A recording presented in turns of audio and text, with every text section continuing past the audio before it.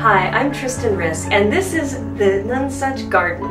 This book was produced in collaboration with Scott Alexander and features photographs and poems and paintings of my nonsuches in their natural habitat, being awesome.